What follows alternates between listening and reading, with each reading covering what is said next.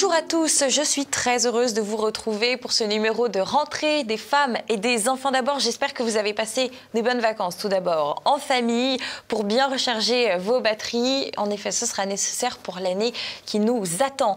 Au programme de ce numéro de rentrée, euh, nous allons nous attaquer au difficile sujet de la pédocriminalité. Je reçois pour en parler Olivia Sarton. Elle est euh, juriste et elle a co-dirigé l'ouvrage suivant Violence sexuelle entre sous la direction euh, de Claire de Gatelier également, mais avec de nombreux euh, spécialistes. Il s'agit d'un ouvrage qui est extrêmement complet sur euh, le sujet des violences sexuelles entre mineurs, mais surtout il n'est ni dogmatique ni moralisateur. Et donc cela permet d'être lucide, d'avoir un œil neuf et ajusté sur ces agissements de violence entre enfants. Après cet entretien, on retrouvera bien évidemment notre fabuleuse chronique lecture avec Anne-Laure Blanc et Valérie Daubigny.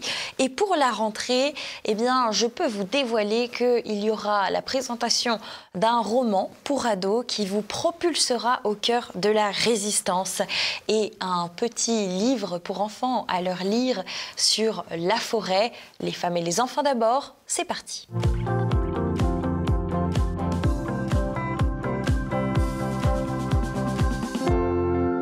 La pédocriminalité, c'est un sujet qui a été mis en lumière récemment. On peut penser à plusieurs affaires médiatiques, comme le scandale qui avait éclaté euh, à la suite de la sortie du livre de Camille Kouchner, ou encore du livre de Vanessa Springora dans le cadre de l'affaire Maznef. Ces deux affaires ayant largement contribué à libérer la parole des victimes d'abus. Plus récemment, il y a également un film documentaire qui est sorti aux États-Unis. Il traite du trafic sexuel d'enfants qui, malgré son titre, a fait grand bruit aux États-Unis. Toutefois, il n'est pas prévu qu'il sorte en France. Par ailleurs, il est extrêmement difficile à trouver. Aujourd'hui, en tout cas, comme je le disais dans mon introduction, eh bien nous, nous allons parler des violences sexuelles entre mineurs. Bonjour Olivia Sarton. J'ai le plaisir de vous recevoir aujourd'hui euh, pour la seconde fois sur le plateau des femmes et des enfants d'abord. Je vous représente tout de même. Vous êtes juriste, euh, la directrice scientifique de l'association Loi 1901, euh, juriste pour l'enfance. Et vous avez, avec Claire de Gatelier euh, de l'association Elle Famille et Liberté, dirigé un livre avec une thématique qui est on ne peut plus sensible, évidemment, c'est celle des violences sexuelles sur les mineurs, mais plus spécifiquement dans le livre des violences sexuelles entre mineurs. Alors, l'ouvrage le voici. Il s'agit du titre suivant, Violence sexuelle entre mineurs, agir prévenir, guérir, les spécialistes répondent. Effectivement, il y a euh, des spécialistes que vous avez euh, dirigés et qui ont produit euh, chacun une petite partie de cet ouvrage qui forme un tout très complet, je dois dire, chers téléspectateurs. Alors, Olivia Sarton, pour rentrer dans le vif du sujet de ces violences sexuelles entre mineurs, est-ce que c'est un tabou qui existe depuis toujours ou alors c'est un problème qui est très récent? Alors, il y a un petit peu des deux, c'est-à-dire que c'est euh, une question qu'on redécouvre aujourd'hui devant l'ampleur, d'abord peut-être devant les prises de parole, mais aussi devant l'ampleur et devant la jeunesse des auteurs et des victimes de ces abus sexuels entre mineurs. C'est-à-dire que jusqu'à aujourd'hui, on va dire que la lumière des projecteurs était mise sur les mineurs, les petites victimes d'auteurs qui, eux, étaient majeurs. Or, aujourd'hui, on découvre qu'il y a aussi des mineurs qui sont auteurs d'abus sexuels sur d'autres mineurs. Et ça se développe sans doute, mais surtout, avec, ça, ça se répand euh, dans des classes d'âge très jeunes, puisque ça touche des enfants de moins de 10 ans. Donc c'est une euh, certaine nouveauté dans ce cadre-là. J'allais dire, c'est un phénomène qui, euh, vous le dites très bien dans le livre, d'ailleurs, a, littéralement euh, explosé ces, dernières années. Euh, est-ce qu'il y a un profil type dans ces mineurs auteurs qu'on peut retrouver? Alors, ce sur quoi tous nos intervenants ont mis l'accent, c'est que le mineur auteur est d'abord, avant tout, un mineur lui-même en danger. Parce qu'un mineur n'est pas auteur euh, par, euh, par accident, euh, c'est assez rare. Quand il est auteur, en général, c'est que dans beaucoup de cas, malheureusement, lui-même a d'abord été victime, et donc il reproduit ce qu'il a subi, ou alors lui-même a été confronté, sans être victime directement, à des scènes de violence, notamment de violence sexuelle euh, entre des adultes, par exemple, autour de lui, où il a été exposé à euh, de la sexualité trop précoce, notamment, soit en voyant des scènes euh, de sexualité des adultes autour de lui, soit par le biais de la pornographie. Et on sait aujourd'hui que ce fléau de la pornographie est un, quand même un facteur majeur qui peut inciter des enfants un peu fragiles un passage à l'acte. Alors évidemment, tous les enfants qui regardent de la pornographie, parce que malheureusement, beaucoup d'enfants regardent de la pornographie, et souvent les parents ne s'en doutent pas, donc tous les enfants qui regardent de la pornographie ne vont pas devenir auteurs, bien sûr, d'abus sexuels, mais ceux qui sont en difficulté pour une raison ou pour une autre dans ce domaine-là, eh bien, le fait de regarder de la pornographie peut euh, les inciter à passer à l'acte. Notamment, euh, les spécialistes montrent qu'un certain nombre d'entre eux vont passer à l'acte pour essayer de comprendre ce qu'ils ont vu en le reproduisant. Hmm. Donc, euh, donc on n'a pas vraiment de profil type, mais on sait que ce sont des enfants qui sont fragiles et ce sont des enfants qui ont besoin d'aide. Les mineurs auteurs, ce sont des enfants qui ont besoin d'aide et c'est ce sur quoi nous insistons dans notre livre. Je crois que vraiment le fil rouge de, le fil rouge de ce livre est très important puisque c'est agir, prévenir, guérir. Et le, le agir et le guérir s'appliquent bien sûr à la prise en charge des petites victimes, mais aussi à la prise en charge des auteurs pour qui un avenir est possible malgré les faits qu'ils ont commis. Absolument. Alors, est-ce que euh, maintenant qu'on a euh, dressé le fait qu'il n'y avait pas de, portrait type, est-ce que malgré tout, il y a euh, certains cadres qui favorisent ces violences entre mineurs? Alors oui, on sait que ce qui favorise les violences entre mineurs, c'est les enfants qui sont en certaine euh, insécurité affective, ceux qui euh, n'ont pas de mots, de paroles, qui n'ont pas eu de relations euh, sereines et apaisées avec leurs parents sur le sujet de l'affectivité et de la sexualité. Hein, les spécialistes, les psychologues notamment, insistent beaucoup sur le fait que les parents doivent discuter avec leurs enfants, doivent leur apprendre, pour les tout petits d'abord leur corps, leur identité sexuée, le fonctionnement de leur corps, la signification euh, de leurs organes, euh, la beauté du fait que leur corps un jour va se transformer et va pouvoir les amener à exprimer de la tendresse par la sexualité, à devenir un jour parents. Et puis aussi, ils insistent sur le fait qu'aujourd'hui, il faut informer les enfants et notamment les ados sur les risques d'Internet, sur euh, la pornographie, sur le fait que la pornographie ne reflète pas la vie réelle ne reflète pas ce qu'est une sexualité réelle. Et voilà, cet espace de parole est extrêmement important et on sait que euh, s'il n'existe pas, eh bien, il y a plus, ça majore un peu la probabilité que euh, qu'un enfant puisse être euh, victime ou passer du côté des abus. Et puis par ailleurs, on sait que malheureusement, c'est ce que je disais tout à l'heure, ce sont souvent les enfants qui ont subi des abus sexuels qui n'ont pas pu être révélés et donc ils n'ont pas pu être soignés, ils n'ont pas pu être pris en charge, la loi n'a pas pu passer, on n'a pas pu leur dire que ce qu'ils ont subi, ce n'était pas normal, c'était illégal, c'était puni par la loi.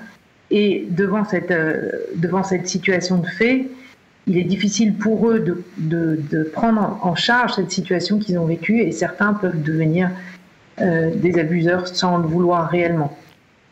Oui, alors vous, avez abordé euh, le, problème de la pornographie. Euh, il y a plus généralement aussi ce problème d'une société qui est hyper sexualisée, j'imagine. Oui, ça c'est vraiment un problème très général.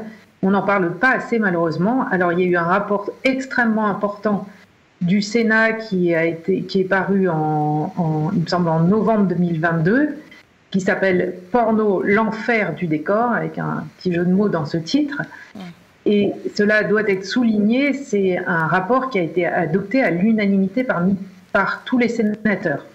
Tellement la situation qu'il décrit est d'une part euh, claire et en même temps effrayante. Je précise que pour réaliser ce rapport, les sénatrices ont réalisé de multiples auditions Et elles ont interviewé aussi bien des psychologues, des médecins que euh, des euh, acteurs du, de la pornographie, c'est-à-dire les acteurs au sens ceux qui réalisent les films, mais également des, des éditeurs. Donc elles ont vraiment fait, ces sénatrices ont vraiment fait un travail extrêmement important et elles en ont tiré ce rapport qui fait froid dans le dos et dans lequel elles pointent en particulier les conséquences extrêmement néfastes pour les enfants.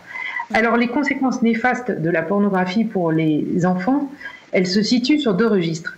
Elles se situent d'abord sur l'enfant qui consomme de la pornographie. Il, il va avoir des conséquences, cette consommation de pornographie va avoir des conséquences d'autant plus dommageables que l'enfant la consomme jeune et que donc il n'aura absolument pas les mots et les concepts pour traduire ce qu'il va voir.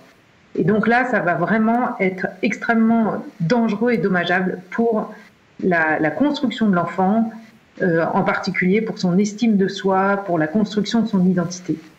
Donc ça, c'est déjà le premier rapport, ce sont les enfants qui consomment le, premier danger, pardon, ce sont les enfants qui consomment de la pornographie. J'insiste tout de suite sur le fait que c'est pas du tout quelque chose de nouveau. Hein. Les dangers euh, pour les enfants de la consommation de pornographie, on l'a pas découvert à la lecture du rapport du Sénat. Euh, c'est pas la lecture du rapport du Sénat qui tout à coup a dit oh là là il y a urgence, il y a urgence, il faut faire quelque chose. C'est un danger qui est identifié depuis longtemps. Nous avons des lois qui devraient permettre euh, de sanctionner les sites qui ne mettent pas en place de barrage pour les enfants, pour tous les mineurs. Hein. Quand on parle d'enfants, c'est euh, jusqu'à la veille des 18 ans. Et aujourd'hui, on sait que les solutions techniques existent. Hein. La solution technique a été développée par Polytechnique, par des ingénieurs de Polytechnique qui ont mis en place un système qui permet d'attribuer à chaque, euh, chaque citoyen de France un jeton numérique qui va valider votre âge. Donc euh, le, le, système qui a été mis en place, c'est que la personne qui veut se connecter sur euh, d'autres sites, parce que par exemple, si vous voulez vous connecter à un site de, relatif au vin ou à l'alcool, vous devez aussi normalement prouver que vous avez plus de 18 ans. Donc, de, donc, de manière générale, euh, ce n'est pas parce qu'on demande un jeton numérique que ça va jeter l'eau propre sur la personne qui la demande. Donc on demande un jeton numérique en passant par euh, un site comme France Connect, donc qui est un site neutre et qui va valider que la personne qui le demande a plus de 18 ans ou alors même plus de 14 ans par exemple, puisque maintenant il y a les nouvelles législations qui doivent s'appliquer pour l'utilisation des réseaux sociaux. Euh, en dessous de 14 ans, il y a des, normalement l'accès aux réseaux sociaux est euh, désormais restreint depuis une loi assez récente. Donc ce système de jetons numériques qui existe devrait pouvoir être mise en place. Alors que cette solution technique existe depuis plus d'un an et demi, eh bien le gouvernement ne qui l'a commandé, hein, le gouvernement l'avait pourtant commandé, ne l'a toujours pas mise en œuvre. Et aujourd'hui, les enfants peuvent toujours accéder librement aux sites pornographiques en cliquant simplement sur euh, le, le, bouton qui s'affiche et qui leur demande d'assurer qu'ils ont plus de 18 ans. Donc il n'y a pas de protection effective alors que la solution technique existe. Donc on peut déjà se demander quel est l'intérêt, quels sont les intérêts en jeu pour qu'on ne se décide pas à protéger les enfants. Donc ça, c'est le hmm. premier aspect de la pornographie. Le second aspect de la pornographie, c'est celui qui touche les adultes. Et alors là, c'est vraiment un tabou, parce qu'on considère de manière générale, au nom de la liberté d'expression, au nom de la liberté individuelle, qu'on ne doit pas pouvoir restreindre ni même porter un jugement sur la consommation de pornographie par les adultes.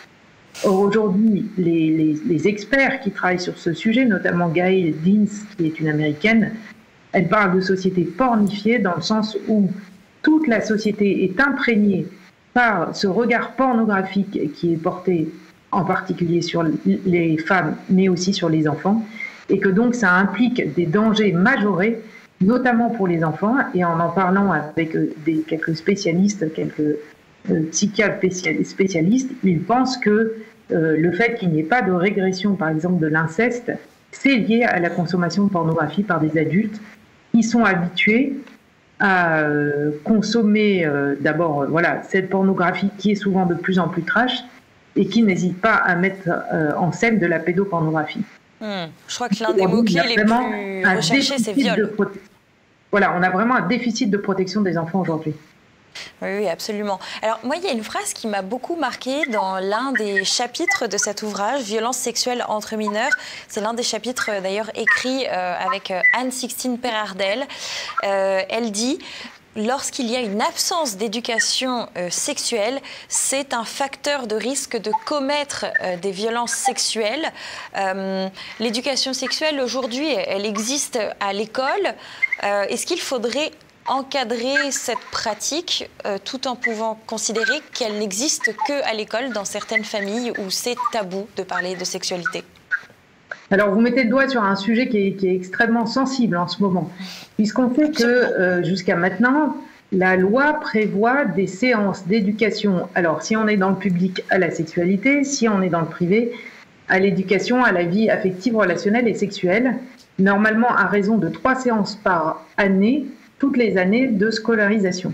On est très en dessous actuellement, hein, j'imagine. On est très en dessous dans beaucoup d'écoles. Mais se pose aussi la question de l'objectif de ces séances et des moyens qui sont utilisés. Hmm.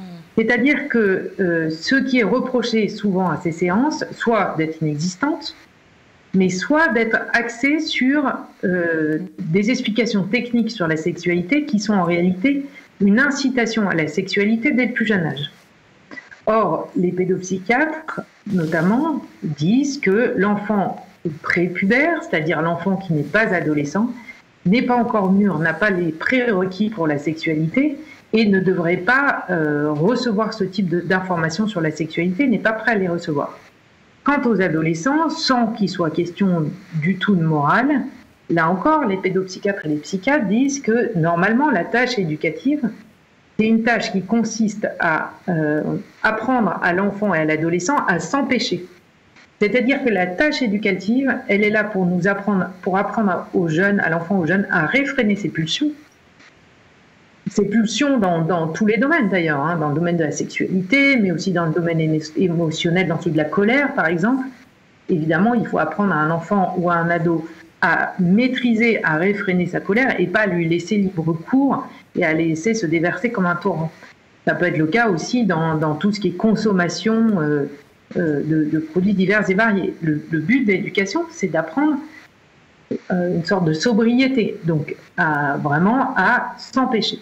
Or là, les séances d'éducation à la sexualité, notamment celles qui sont dispensées souvent euh, au sein de l'éducation nationale, sont plutôt des séances d'incitation à la consommation de sexualité dès le plus jeune âge, avec comme seul euh, avec deux, deux seules restrictions qui seraient un, se protéger des IST ou des grossesses précoces, et deux, euh, le consentement, le fameux consentement. Donc à partir du moment où il y aurait une protection et où il y aurait le consentement, tout serait possible dès le plus jeune âge. Et c'est extrêmement contestable parce que c'est pas comme ça qu'on éduque les enfants. Et puis par ailleurs, cette notion de consentement, on peut se demander dans quelle mesure les enfants, les jeunes peuvent réellement l'appréhender. Qu'ils sont capables vraiment de comprendre ce que veut dire le consentement C'est ce qu'on essaie de leur transmettre, mais on sait que l'éducation est une tâche euh, longue. Donc euh, voilà, on voit bien que c'est quelque chose qui n'est pas très clair. Donc on a aujourd'hui ces séances d'éducation à la sexualité qui soit ne sont pas dispensées, soit pour beaucoup ne sont pas satisfaisantes. Il y a aussi des associations qui les dispensent de manière admirable et c'est heureux mais enfin, on voit que c'est pas euh, euh, c'est pas satisfaisant. Alors, pour contrer les violences sexuelles, et en réalité, disent-ils, pour prévenir l'inceste, il a été question avant l'été de rendre euh, cette éducation à la sexualité un rang de matière, de lui octroyer un rang de matière au même titre que les maths ou le français. Et donc, il rentrerait dans les programmes une éducation à la sexualité. Donc, c'est extrêmement contestable. D'abord, les spécialistes vous disent que l'éducation à la sexualité, ça ne prévient pas l'inceste. Ça permet peut-être à un enfant de s'exprimer sur ce qu'il a vécu, mais jamais ça ne prévient l'inceste. Donc, ce, motif tiré de dire on va faire de l'éducation à la sexualité, ça va protéger les enfants, c'est pas exact. Et puis, deuxièmement, voilà, il y a tous les dérives qu'on voit déjà dans les séances d'éducation à la sexualité. Si on les retrouve majorées plus plus dans, euh, dans l'éducation à la sexualité rendue obligatoire au titre de matière, eh bien, ça va créer véritablement des dégâts. Et en tout cas, ça ne va pas permettre de réduire les abus sexuels comme, euh, on, pourrait le penser, comme on, on le souhaite. Alors, en cas d'abus sexuels, justement, entre mineurs, euh, comment et quand Doit-on saisir la, justice? Comment, se passe le parcours d'un parent, par exemple, qui remarquerait une agression ou qui serait euh, témoin euh, d'une agression par son enfant? Alors là aussi, c'est une question complexe parce qu'il faut d'abord pouvoir vraiment évaluer s'il s'agit d'une agression ou d'un abus ou s'il s'agit en réalité de simples jeux de découverte. Parce qu'on sait que la limite n'est pas très claire s'agissant des enfants, surtout des enfants jeunes. Alors, euh, il y a des grilles d'évaluation qui ont été faites sur ce qui est, du comportement, on va dire, un peu normal euh, de découverte par rapport, par exemple, à un enfant qui voudrait aller regarder un autre enfant faire pipi et qui, euh, voilà, est très euh, éberlué par la découverte du sexe opposé. Bon, voilà, il y a des grilles d'analyse de ce qui est comportement entre guillemets normal de découverte, qui est un comportement qui doit commencer à préoccuper l'adulte, qui veut dire qu'il va mettre un certain nombre de limites à l'enfant, et puis ce qui est un comportement complètement anormal et très préoccupant. Hmm. Donc si on estime qu'on est dans cette fenêtre du comportement extrêmement normal et très préoccupant, tous les spécialistes conseillent de ne surtout pas garder les affaires en huis clos dans les familles, mais euh, de, les, de les confier à des spécialistes.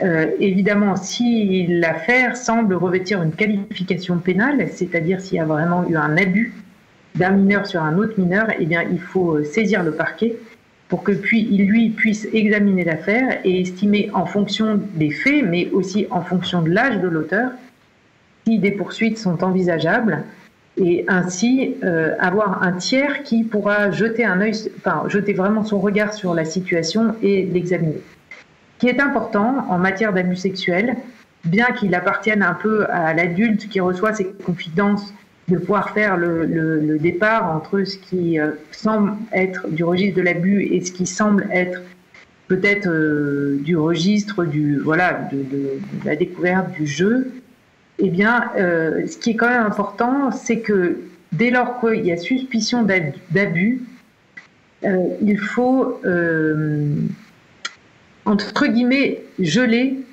la scène de l'infraction. Vous savez, quand il y a une infraction qui a été commise, un vol, un cambriolage, eh bien tout de suite, les policiers arrivent et sécurisent la scène de manière à ce que personne n'entre et qu'on puisse relever les bons indices et ne pas avoir d'ajout polluant, entre guillemets, par des tiers qui viendraient fausser cette scène de constatation euh, du délit qui a été commis. Eh bien, étonnamment, mais en fait on le comprend avec euh, cette analogie, en matière d'abus, c'est un peu la même chose. C'est-à-dire que les parents ne doivent pas, si vraiment ils suspectent un abus, ne doivent pas interroger leur enfant euh, de manière approfondie parce qu'ils risqueraient d'influencer sur l'enfant, sur ses souvenirs, et ensuite ce que l'enfant irait déclarer à la gendarmerie ou à la police ne serait plus, euh, ne, serait, ne correspondrait plus en réalité à ce que l'enfant a vécu et risquerait d'avoir un classement sans suite parce que du coup l'affaire paraîtrait, euh, les, éléments rapportés paraîtraient ne pas correspondre. Donc c'est quelque chose, c'est extrêmement difficile pour les parents parce qu'en même temps ils doivent arbitrer entre ce qui paraît de l'abus du jeu. Il y a des exemples hein, qui sont vraiment donnés qui ont été tirés de l'expérience des professionnels qui sont intervenus, qui sont donc des exemples qui sont donnés dans le livre, qui permettent vraiment d'avoir un regard, un éclairage sur certaines situations. À partir de, mais si les parents estiment qu'il y a un abus ou si l'enfant est, clair et ferme sur le fait qu'il y a un abus, alors là, il faut vraiment tout de suite aller voir la police, la gendarmerie, saisir le parquet de manière à avoir une enquête hmm. faite par des experts. Oui, oui c'est très clair dans l'ouvrage. Hein. Euh, on, sait comment se, positionner une fois qu'on l'a fini et, euh, qu'on a entièrement passé en revue toutes les situations possibles qui sont présentées. Euh, on, comprend mieux. Alors, au niveau des réponses juridiques, j'imagine qu'on met les, personnes qui vont juger cette affaire de violence sexuelle entre mineurs, on les met beaucoup dans l'embarras parce que finalement, quelle peine appliquer à, des, à parfois des très jeunes enfants? Euh, oui, alors euh, ce qu'il faut savoir, c'est qu'en dessous de 13 ans, il y a un principe euh, d'absence de, discernement de l'enfant et donc il n'y a pas de responsabilité pénale en dessous de 13 ans. Sauf exception. les exceptions, c'est quand on a des enfants qui ont par exemple commis des faits avant leurs 13 ans et après leurs 13 ans, on va examiner les faits dans les deux situations et il peut arriver à titre exceptionnel qu'on estime que le mineur était discernant. Qu'on entend par discernant, c'est un mineur qui comprend les actes qu'il a commis et qui comprend les conséquences que vont entraîner au niveau pénal les actes qu'il a commis. Donc c'est quand même euh, quelque chose qui est assez important. Donc en dessous de 13 ans, normalement, il n'y a pas de, l'enfant n'est pas discernant et donc il ne peut pas avoir de responsabilité pénale, ce qui veut dire qu'il n'y aura pas de, réponse pénale aux faits qui ont été commis.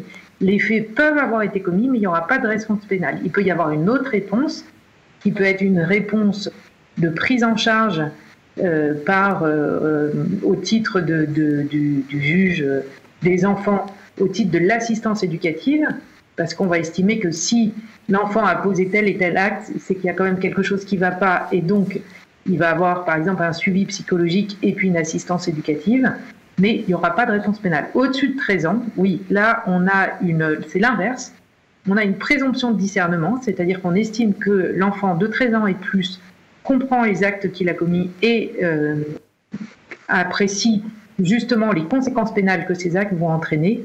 Et là, effectivement, il va y avoir une sanction pénale. Maintenant, euh, quand on parle de sanction pénale, il y a tout, tout un volet en premier lieu, c'est la réponse éducative qui est la plus importante. Euh, les peines d'emprisonnement, d'enfermement sont extrêmement rares. Ce sont pour des cas euh, très graves. Et euh, dans ce, dans ce cadre-là, l'enfant est jugé par un tribunal pour enfants qui est constitué d'un magistrat professionnel et de deux assesseurs issus de la société civile. Donc c'est une réponse collégiale, une décision collégiale du tribunal pour enfants ou de la cour d'assises des mineurs éventuellement mais euh, la, voilà, la décision est prise de manière collégiale, elle est longuement mûrie et euh, vraiment, elle, elle est, un emprisonnement est quand même assez rare. La plupart du temps, vous allez avoir une réponse éducative comme euh, eh bien, des travaux d'intérêt généraux à faire, une indemnisation de la victime, un travail psychologique, un travail médical, etc. etc. Olivia Sarton, vous qui êtes juriste, et ce sera euh, ma dernière question, parce que le temps file, même s'il y a des tas de sujets à aborder euh, dans le cadre des violences sexuelles euh, sur les mineurs, est-ce que le cadre juridique qui existe aujourd'hui en France, vous diriez qu'il est satisfaisant à la fois pour les auteurs et pour les victimes? Alors, le cadre juridique est quand même assez satisfaisant, moyennant le bémol sur voilà ce que je disais tout à l'heure sur le fait que les sites pornographiques aujourd'hui bénéficient d'une impunité qui est incompréhensible. Aujourd'hui, concernant vraiment le sujet des, abus sexuels entre mineurs, euh, on peut se poser la question, il y a une limite qui a été introduite euh, très récemment en 2021. Quand des abus sont commis par des majeurs sur des mineurs, on a estimé que à partir du, du moment où l'enfant était un mineur, ce qu'on appelle un mineur de 15 ans, c'est-à-dire en réalité un mineur de moins de 15 ans, il ne pouvait pas avoir donné son consentement à cet acte sexuel euh, avec un majeur. La même chose n'existe pas chez les mineurs et c'est vrai que ça pose quand même la question quand on a des très jeunes mineurs qui sont victimes d'autres mineurs beaucoup plus âgés. Plus âgés, ouais. Par exemple, un mineur de 5, 6, 7, 8 ans, 10 ans, qui est victime d'un mineur de 16, 17 ans et on va poser la question de euh, son consentement, de sa capacité à consentir, c'est-à-dire qu'on va examiner s'il euh, y a eu euh, une situation de surprise, de violence, etc. Et c'est vrai que c'est quand même un peu contestable lorsque on a un tel écart d'âge entre l'auteur et la victime. Maintenant, j'ai pas de réponse et de solution toute faite encore sur quelles modifications législatives il faudrait adopter pour remédier à cette situation. Mais c'est vrai que c'est quand même euh, cette situation-là qui reste assez peu satisfaisante. Et ça n'empêche pas que même entre des mineurs du même âge, quand il y a des abus sexuels qui sont commis, il y a toute la difficulté de prouver justement l'absence de consentement de la victime. Hein. On a beaucoup de jeunes, de jeunes ados qui, euh, quelques mois, quelques années après, viennent dire mais en réalité j'étais pas consentante, j'étais pas consentant à cet acte, il m'a été imposé par l'autre mineur.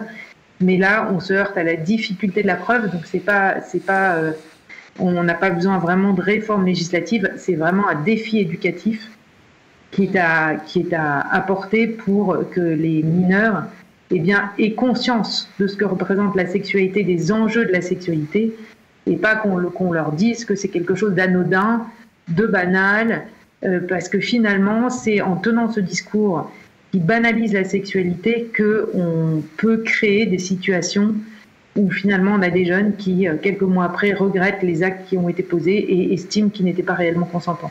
Oui. Avant d'apprendre à consentir, peut-être faudrait-il s'intéresser au non. Ouais, Merci beaucoup Olivia Sarton. Euh, je rappelle euh, l'ouvrage que vous avez dirigé avec Claire de Gatelier, euh, dans lequel vous pourrez retrouver de nombreux spécialistes, chers téléspectateurs, violences sexuelles entre mineurs, agir, prévenir, guérir. Les spécialistes répondent. C'est vraiment un livre à mettre entre toutes les mains, qu'on soit parent ou qu'on soit juste en contact d'enfants. Tant qu'on a à cœur de les protéger, c'est un ouvrage à lire. Merci beaucoup Olivia Sarton encore pour votre venue sur notre plateau des femmes et des enfants d'abord. Et maintenant, place à la chronique lecture.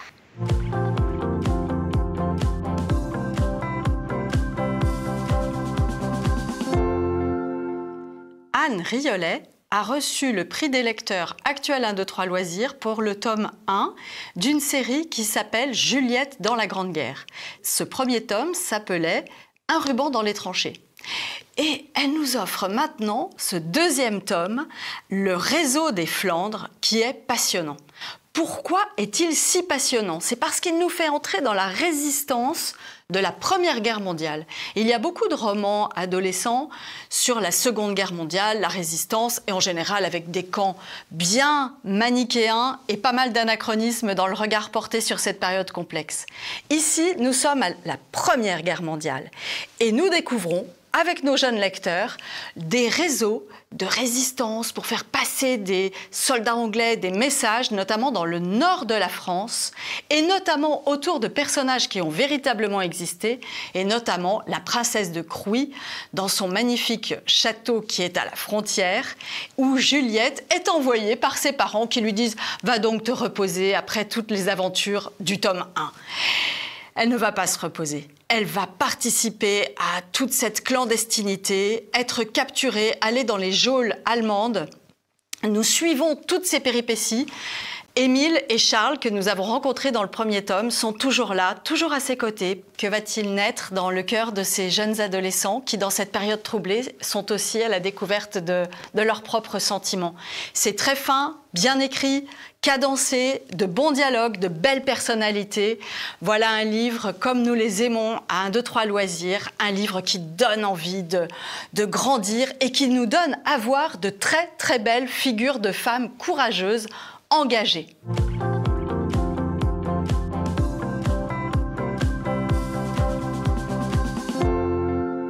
Alors, je vais vous présenter aujourd'hui un livre qui vous permettra de sortir dans la nature avec les enfants. Et aujourd'hui, nous allons donc dans la forêt. C'est un livre qui est dû à Stéphanie Desbenois, qui est paru chez Atier Jeunesse. C'est un grand format donc pour chaque saison, vous avez une double page de bricolage, de création, de recettes de cuisine. Par exemple, en hiver, vous pourrez, si vous n'en avez pas assez mangé à Noël, fabriquer un gâteau roulé, donc une bûche plus ou moins, éventuellement fabriquer une couronne d'hiver. Et puis dès que le printemps arrivera, eh bien, vous irez aussi dans la forêt créer par exemple poisson d'avril ou un papillon avec des fleurs de la nature. L'idéal dans ce livre, c'est que les dessins sont à la fois très clairs, mais très, très colorés. Les enfants pourront, je pense, les recopier parce qu'ils n'ont pas trop de détails, même s'ils sont d'une très grande précision. Voilà, c'est un jeu d'équilibre entre les deux. Couleurs sont vraiment très très gaies et vous pouvez aussi le lire en collectivité dans une école, une crèche ou par là parce qu'il est un très grand format, ce qui est quand même pratique pour montrer les détails aux tout petits. Voilà, donc en hiver, vous trouverez ce hibou peut-être quelque part et puis peut-être aussi un écureuil ou un lièvre variable. À vous de sortir dans la forêt et papier à dessin. À très bientôt. Au revoir.